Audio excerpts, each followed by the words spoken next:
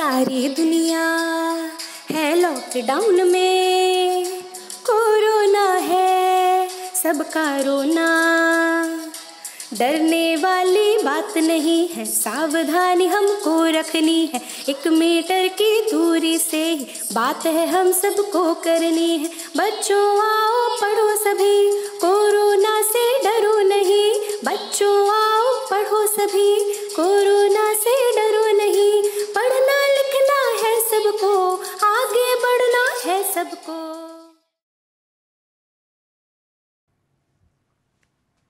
नमस्कार बच्चों, मैं पवन कुमार तिवारी, कुमरावा इंटर कॉलेज, लखनऊ से एक बार फिर आप लोगों के साथ अपने रैखिक समीकरण के दो चर वाले रैखिक समीकरण, अध्याय तीन, कक्षा दस के भाग चार, अर्थात अंतिम भाग के साथ आप लोगों के साथ फिर प्रस्तुत हूँ।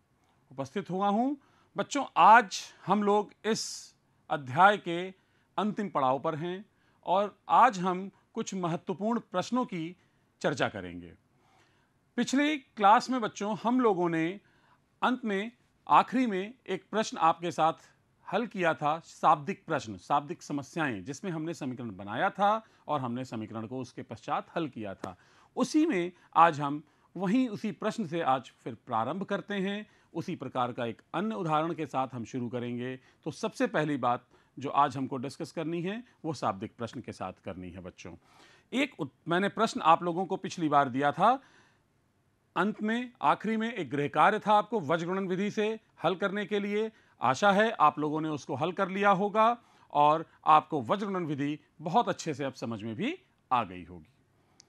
अब बच्चों, आज हम लोग जिन विषयों पर चर्चा करेंगे, उसमें हमें शाब्दिक प्रश्न का पुनः अवलोकन है। मैंने अभी जैसा आपको बताया, एक और चीज़ बहुत महत्वपूर्ण बच्चों, कि ये दो चर वाले रैखिक समीकरण हमको जो प्राप्त हो रहे हैं, जो हम लोग को मिलते हैं, देख, हम लोग हल कर रहे हैं, वो साधारण रूप से तो कैसे हैं? रैखिक हैं। लेकिन कई बार ऐसे समीकरण प्राप्त होते हैं, जो सामान्य रूप से देखने में रैखिक नहीं होते हैं।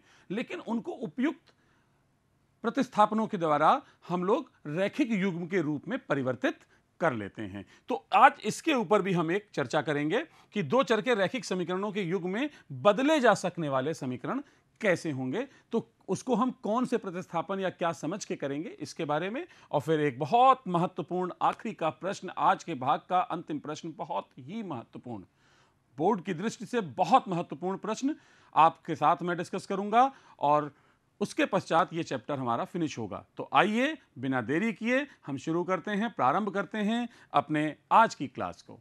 तो बच्चों, सबसे पहले जो हमारे प्रश्न सामने आप देख रहे हैं, उसमें क्या लिखा हुआ दिख रहा है आपको बच्चों? कि पाँच वर्ष पूर्व, आज से पाँच साल पहले, सोनू की आयु, नूरी की आयु, सोनू की आयु की तीन गुनी थी। दस वर्ष पश्चात नूरी की आयु, सोनू की आयु की दो गुनी हो जाएगी। नूरी और सोनू की आयु कितनी है? आज उनकी आयु कितनी है, ये बताना है। अब बच्चों, बड़ा मुश्किल है। प्रश्न दो बार पढ़ेंगे आप तो समझ में आएगा कि हम इसे कहना क्या चाहते हैं, इस प्रश्न में पूछना क्या चाहते हैं। तो उसके लिए बच्चों, ऐसे समझा जाए, मान लीजिए आज आपकी आयु दस वर्ष है तो आज से पाँच साल पहले कितनी थी? तो आप दस में से पाँच घटा देंगे। मैं आपसे पूछूँगा कि आज से सात साल बाद कितनी होगी? अगर आज दस है तो सात साल बाद कितनी होगी? आप सत्रह वर्ष के हो जाएँगे। ठीक है? अगर किसी की आयु आज तेरह वर्ष है तो चार साल पहले कितनी होगी? चार वर्ष पूर्व उसकी आयु कितनी? तो चार घटा दीजिए। बस यहाँ हमें इसी बात को ध्यान रखना है, लेकिन हमें आज की वर्तमान आयु दी नहीं है। तो आप जानते हैं, जब हमें ऐसे प्रश्नों में जो चीज़ नहीं दी जाती है, उसे हम लोग मान लेते हैं। और क्या मान लेते हैं बच्चों? क्या मानते हैं? एक्स और वाई। तो यहाँ कौन कौन है? हमारे पास दो लोग हैं। इस प्रश्न में दो व्यक्ति हैं। एक नूरी और एक सोनू। हम दोनों की वर्तमान आयु मान लेंगे। तो नूरी की वर्तमान आयु, नूरी की वर्तमान आयु। हमने क्या मान लिया? एक्स वर्ष। इसके बाद हम सोनू की वर्तमान आयु कितनी मान लेंगे? वाई वर्ष। अब बच्चों, सबसे पहले आप देखेंगे, आपसे प्रश्न में दो बातें बहुत महत्वपूर्ण है। पहली बात कही गई पाँच वर्ष पूर्व की और दूसरे वाले में हमसे कहा गया दस वर्ष पश्चात की। तो हमें इन दोनों, नूरी और सोनू, दोनों दोनों की आयु हमें पाँच वर्ष पूर्व भी ज्ञात करनी है और दस वर्ष पश्चात की भी ज्ञात करनी है। तो आप ऐसे लिख लें, पाँच वर्ष पूर्व, पाँच वर्ष पूर्व, नूरी की आयु। पहले ये सभी चीज़ें ज्ञात कर लें। नूरी की आयु। कितनी हो जाएगी बच्चों? नूरी की आयु। आज x है तो पाँच वर्ष पूर्व कितनी होगी? x माइनस पाँच वर्ष। और सोनू की? सोनू की आयु कितनी हो जाएगी बच्चों? y माइनस पाँच वर्ष। इसके पस बाद आपसे कहा गया है कि 10 वर्ष पश्चात तो हम 10 वर्ष पश्चात भी इनकी आयु ज्ञात कर लें।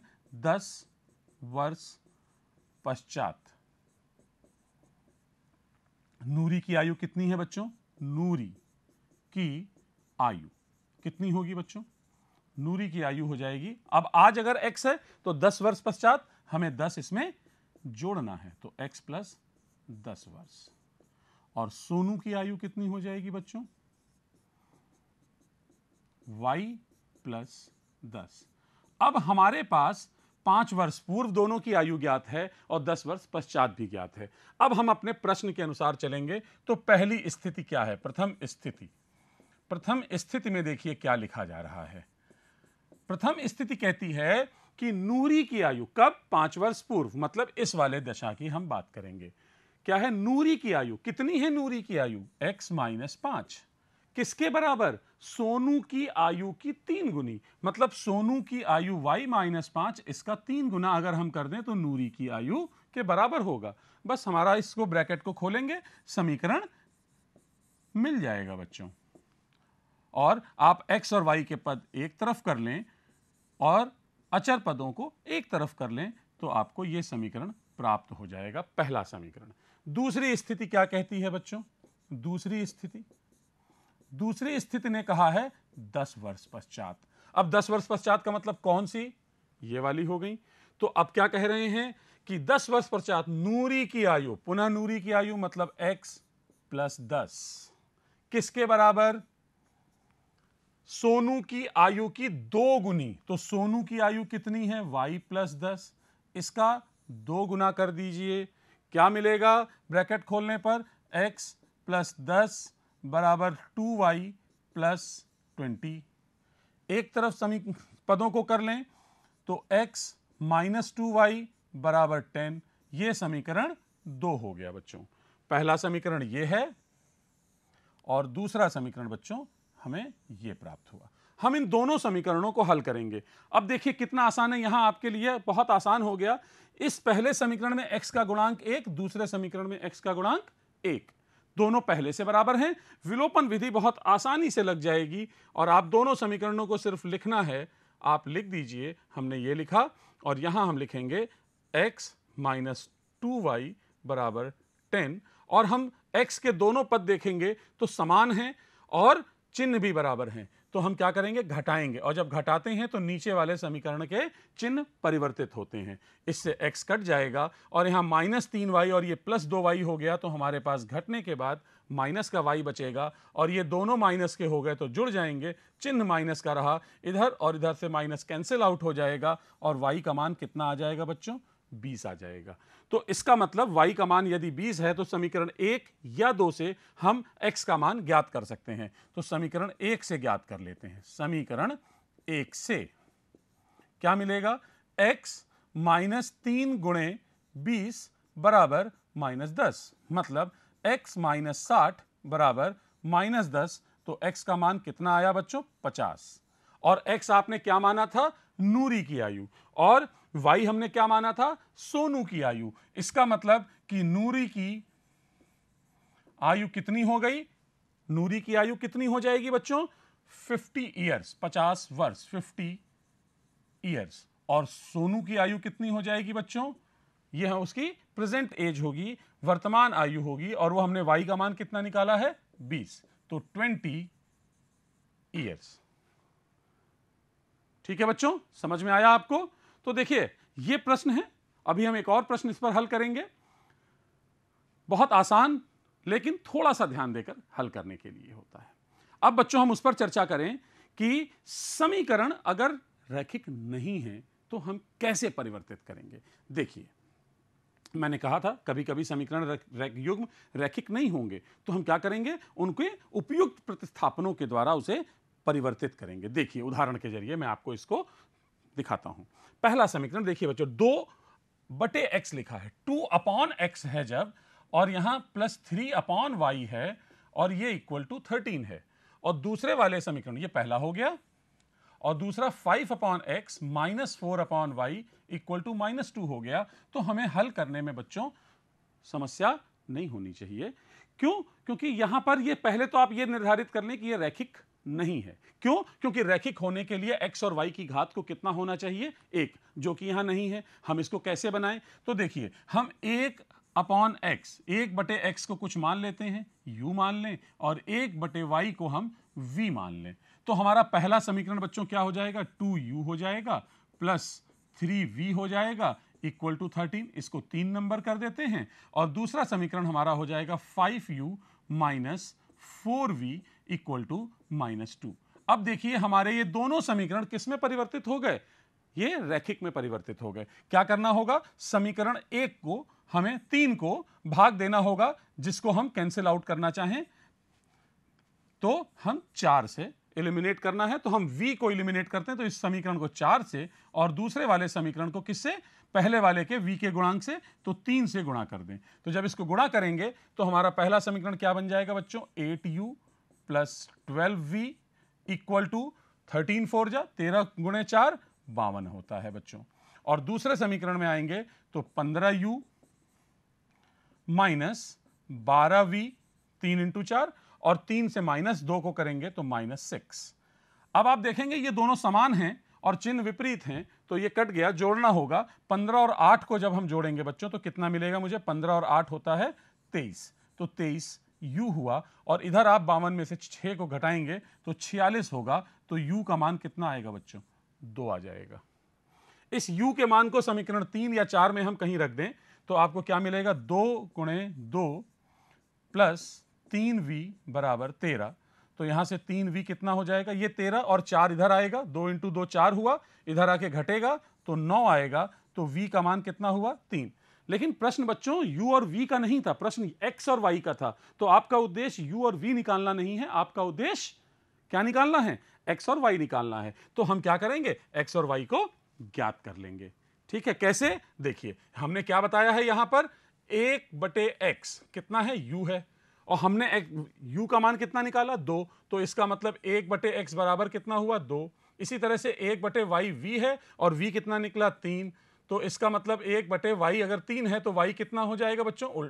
ये रेसिप्रोकल व्युतक्रम हो जाएगा तो एक बटे तीन, और यहाँ से इसका व्युतक्रम लेंगे तो एक्स का मान एक बटे दो। तो एक्स का मान इतना वाई का मान इतना, ये हमारा उत्तर आ जाएगा।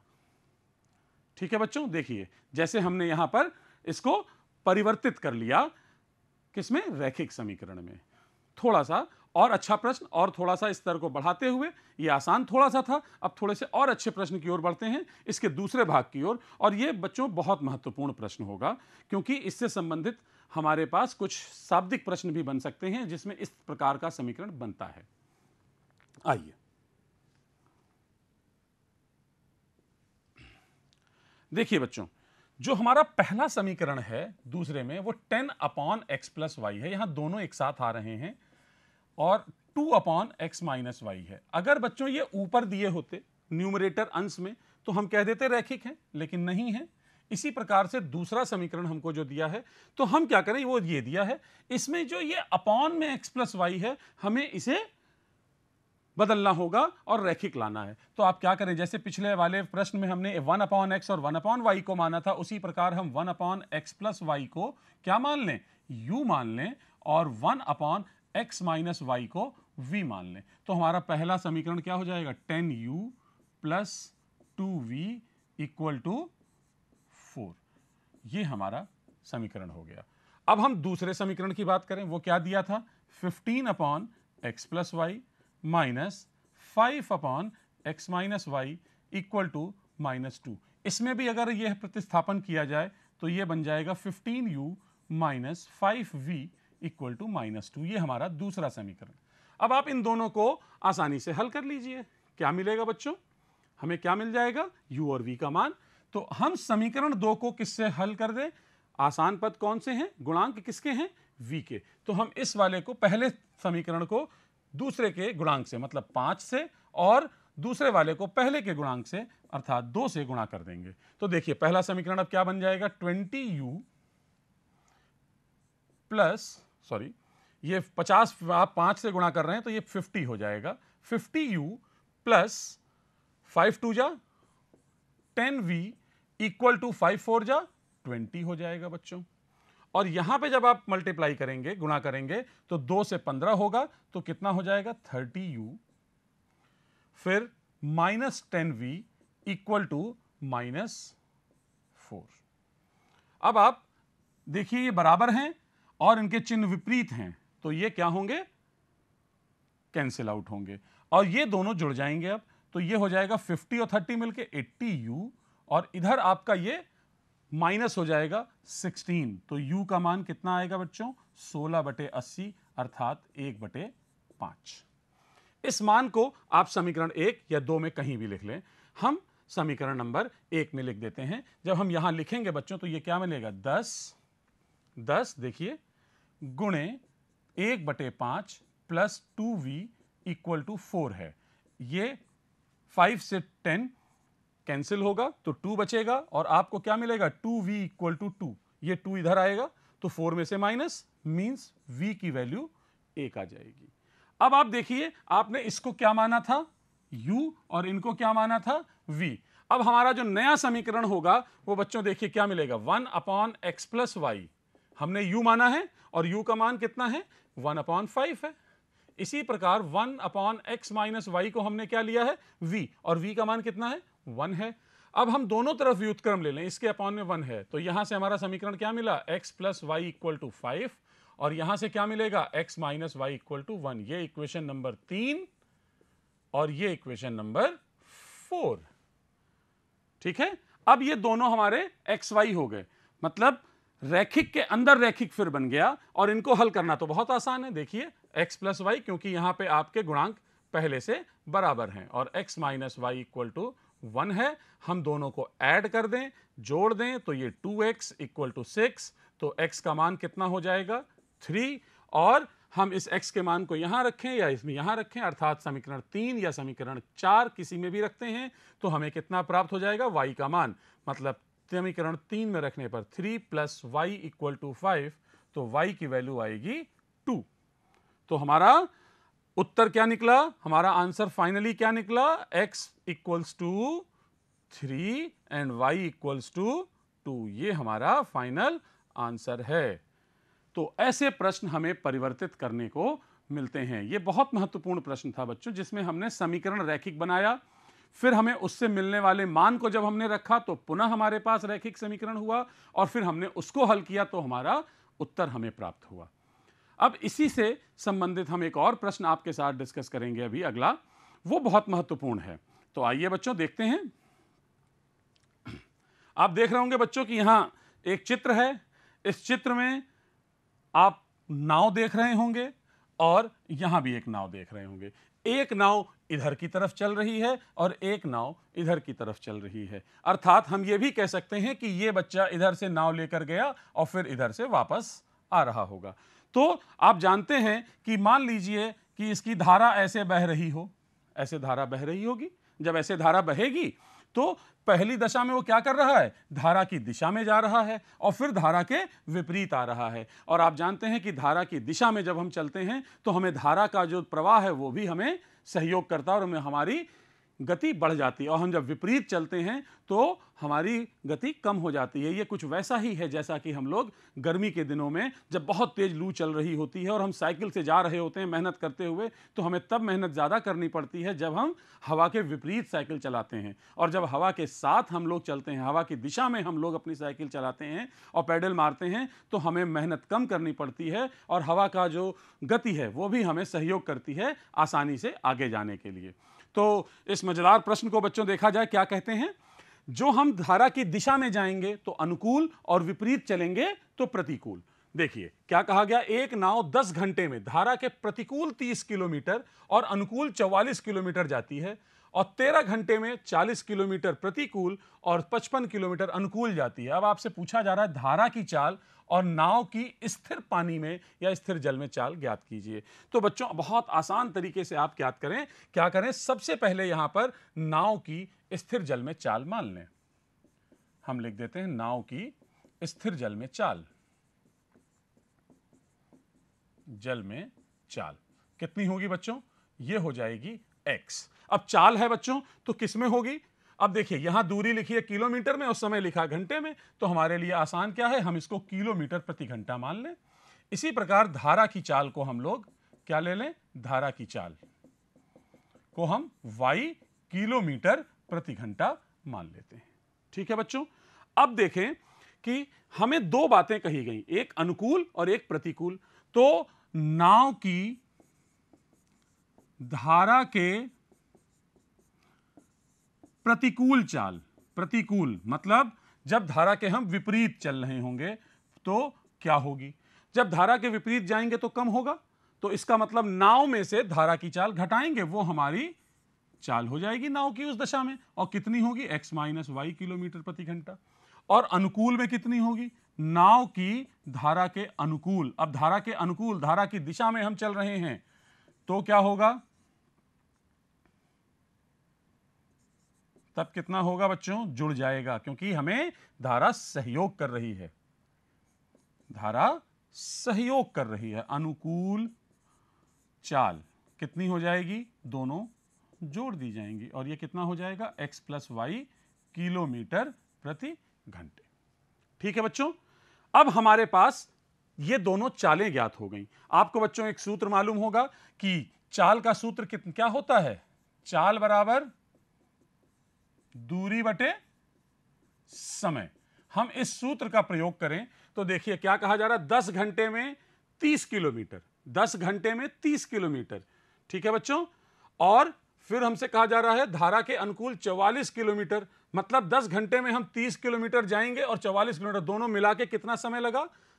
दस घंटे। तो समय का यहाँ से अगर हम सूत्र बना लें तो हमारे लिए आसान हो जाएगा। कुल समय क्योंकि दिया हुआ है तो वो कितना हो जाएगा? दूरी बटे, चाल हो जाएगा, दूरी बटे चल हो जाएगा।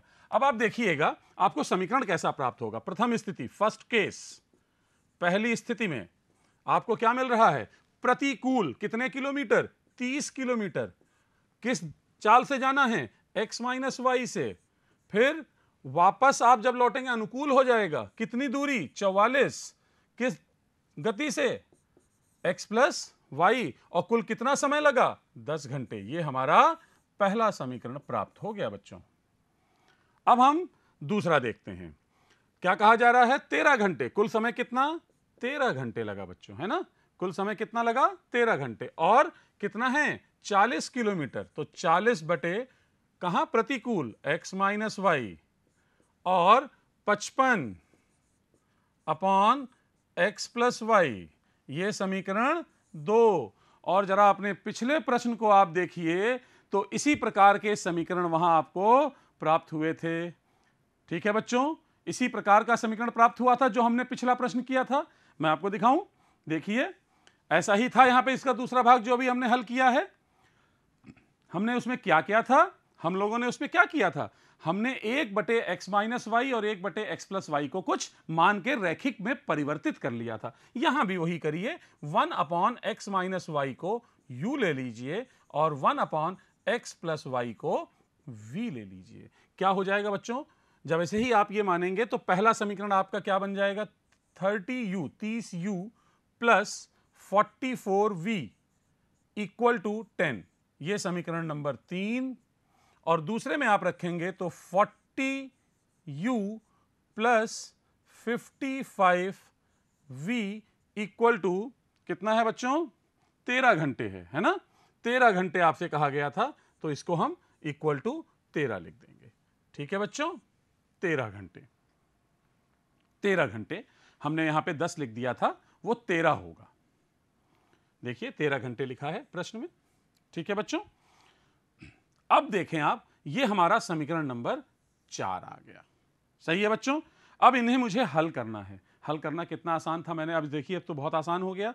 आप u को हटा लीजिए। U को अगर हम विलोपित करना चाहेंगे तो कैसे कर पाएँगे? इसका विलोपन कैसे होगा? देखिए, दोनों में गुणांक देखिए तो ज़ीरो ज़ीरो दोनों में लगा है तो ज़ीरो से हमारा काम पहले से बराबर है। किसको बराबर करना है? तीन और चार को तो समीकरण तीन को आप चार से गुणा कर दें और समीकरण चार को आप तीन से गुणा कर दें। जैसे ही आप ये गुणा करेंगे तो आपको क्या मिलेगा? पहला समीकरण आपको मिल जाएगा 120 यू प्लस। किससे गुणा कर रहे हैं हम? चार से। तो चार इंटू चौवालीस करेंगे 176 आएगा। ठीक है बच्चों? V बराबर, और फिर चार से जब आप गुणा करेंगे दस को तो चालीस आ जाएगा। और फिर नीचे तीन से करेंगे तो one upon twenty u plus, अब तीन से करेंगे तो वन सिक्स फाइव, पचपन इंटू तीन एक सौ पैंसठ, और तेरह इंटू तीन, थर्टी नाइन। और देखिए, ये वाला पद हमारा बराबर हो गया, लेकिन चिन्ह दोनों के प्लस में है तो हमें घटाना है तो नीचे वाले समीकरण चिन्ह परिवर्तित, ये कट गया। अब यहाँ 176 में से 165 को जब आप घटाएँगे तो कितना आएगा? 11 आएगा। और v बचेगा। और यहाँ बच्चों घटेगा तो कितना मिल रहा है हमें घटाने पर? ये एक मिला। तो v का मान कितना हो गया बच्चों? एक बटे ग्यारह। इस v के मान को आप कहीं भी लिख लीजिए, समीकरण तीन में या समीकरण चार में। आपकी इच्छा पर है तो हम अगर लिखें तो क्या मिलेगा? Thirty u plus forty four into one upon eleven equal to ten ये देखिए कैंसिल कितना बचा? फोर तो थर्टी यू इक्वल्स टू ये फोर इधर आएगा तो माइनस हो जाएगा सिक्स हो गया तो u का मान कितना? वन अपॉन फाइव सिक्स से थर्टी कैंसिल हुआ तो वन अपॉन फाइव अब आप इन दोनों को कहाँ रखना था आपको? जहाँ आपने इन्हें u और v माना है। अर्थात हमारे अगले जो दो समीकरण u और v के मान रख के बनेंगे, वो क्या बनेंगे? देखिए one upon x minus y को हमने क्या माना था?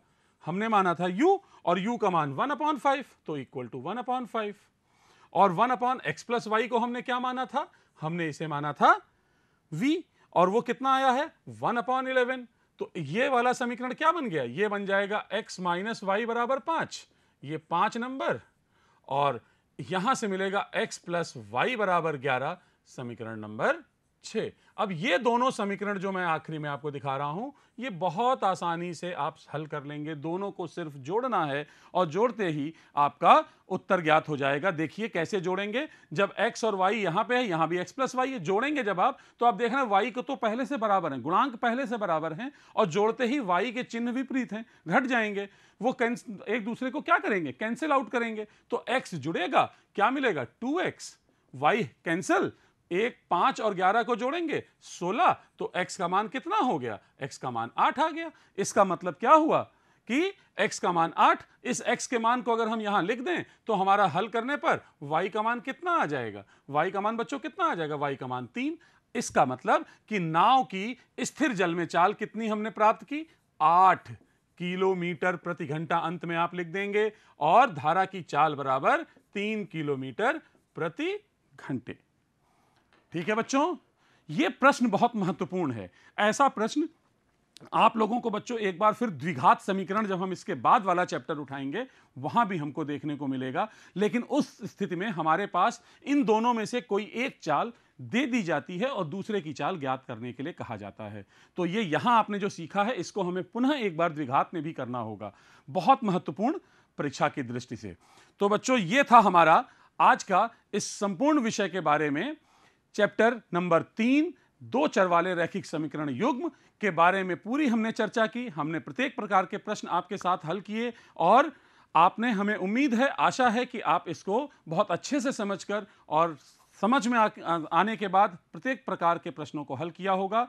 अब आपका काम यह है कि आप अपनी एनसीईआरटी की किताब से इसके सभी प्रश्नों को हल करें और अपनी प्रैक्टिस अच्छी करें। तब तक के लिए बच्चों घर में रहें सुरक्षित रहें और दूसरों को भी सुरक्षित रखें। धन्यवाद।